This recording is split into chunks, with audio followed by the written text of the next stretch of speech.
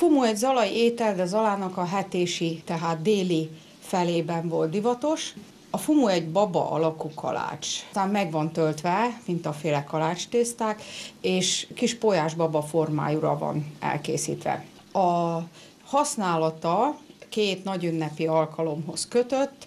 Az egyik a lakodalom, ahol a fumut behozták, és hát ugye mindenféle pajzán kívánságok mellett adták a mennyasszonynak és a vőlegénynek. A másik pedig a keresztelői étkezés, ünnepi étkezés alkalmából, ahol hát ma egyértelmű a szerepe a pólyásbabának. A fumut úgy készítem, hogy elkészítem a lisztet, most egy olyan fél kilónyi lisztbe teszek egy, nem egy egész evőkanál sót, fél liter tejet langyosítottam, tettem bele egy evőkanálnyi cukrot, egy egész tojást, öt deka élesztőt, és akkor azt beleöntöm a lisztbe, esetleg még egy kis tej kell hozzá, akkor még teszünk, de úgy érzem, hogy elég is bele, meg kell is ennyi és akkor mikor már jól kiragasztottam, akkor a fél kiló liszthez teszek egy evőkanál étolajat. Inkább olajat használok, mert attól sokkal lágyabb, gyengébb a tészta, mintha olvasztott zsírt tennék bele.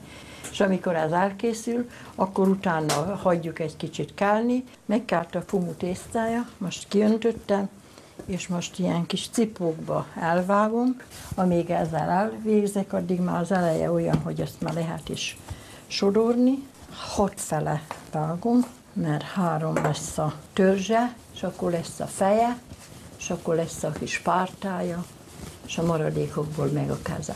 Elkészítem a dió, a mák tölteléket, és akkor egy rúdba teszek egy kis mazsolát. Most a cipókat kisodrom, ha lehet, akkor ilyen téglalap alakra. Egy kis citromhéjat reszelünk a dióra, hogy finom ízletes legyen. A mazsolás az a három csavar közé lesz majd. A mákra tettem egy kis cukrot, tettem egy kis vaníliás cukrot, meg most citromhéjat. És akkor a kettő rudat azzal töltöm. De nálunk Zala megyében, vagyis ott a mi környékünkön, a régi idősektől, ahogy hallottam, ott az volt a jellegzetessége, hogy amikor párt választottak, például a fiúnak, választottak egy lányt, és akkor ugye elmentek, hát hogy megegyeznek azon, hogy most az lesz az ő menyük, vagy az ő vejük, és akkor vittek egy ilyen babát, és akkor azért vitték, hogy egy évre szaporodjon a család.